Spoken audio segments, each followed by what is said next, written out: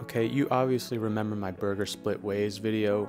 This was that burger, the Burger Royale. This is the burger I made at the restaurants that I worked at. I probably made 300,000 of these, I'm not even kidding. But anyways, can you imagine splitting one of these beauties six ways? Of course not. You'd want it all to yourself. And then the smash burger, also a delicious option. I don't know which one to choose though. You guys have to let me know, do you prefer a smash burger or do you prefer a burger royale with cheese? I just posted a video to the channel. Obviously, if you're watching shorts, you're not subscribed and hitting that bell, so go watch the long video on how to make a smash burger or a burger royale.